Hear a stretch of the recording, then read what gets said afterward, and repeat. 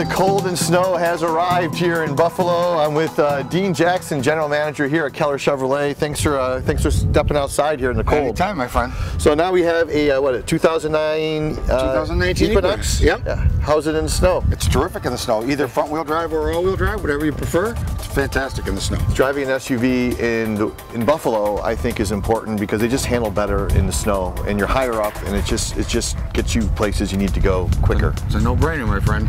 All right, let's give it a ride. Okay.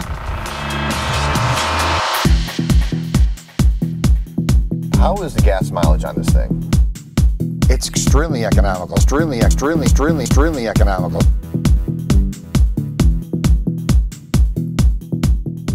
Uh, 2019 Equinox here, and what's what's special about this? I'm going to ask you the first question that you probably get when, when someone takes a test drive: is How is the gas mileage on this thing? It's extremely economical, especially for an SUV. The uh, majority of the Equinoxes, depending whether you go front-wheel drive or all-wheel drive, are roughly about 30 miles per gallon. Oh wow, It's excellent. it's a quiet ride. It is, and this year's version, the 19 version, has a 1.5 liter turbo motor in it as a standard as standard equipment, and you'll find out, especially when you step on the throughway there, it's got uh, it's extremely responsive. It ride's very smooth, and obviously, because it is a four-wheel drive SUV, this has got to be great in snow. It's terrific in the snow.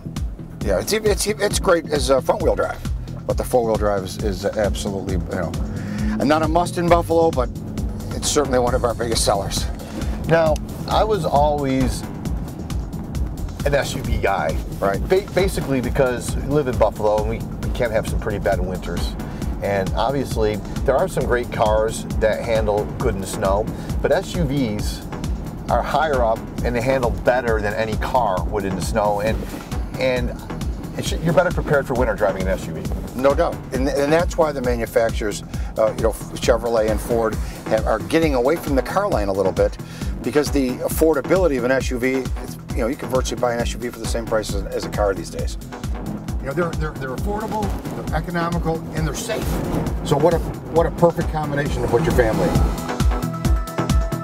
You mentioned Ford and Chevy getting um, rid of a lot of the car models. Do you think that's going to be the general consensus for other car companies is to do more SUV vehicles and less cars?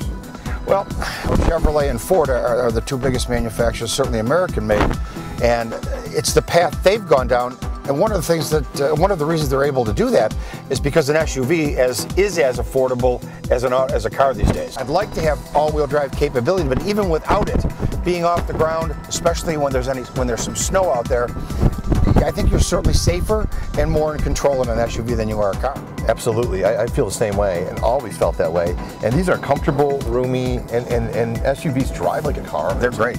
It's not like you feel like you're in this big, huge vehicle that's guzzling up all this gas. It seems like you're in a car, but you are higher up, and they definitely, they definitely are safer than a car. Yeah, and this model, which is our most popular model, the Equinox is our most popular car because of its affordability, its safety. It has everything going for it. So you could drive it as a single guy, a single woman, a, married couple, have a few kids, and yeah, there's a there's a ton of room in here, and you feel good about what you're driving. Yeah, I love this thing.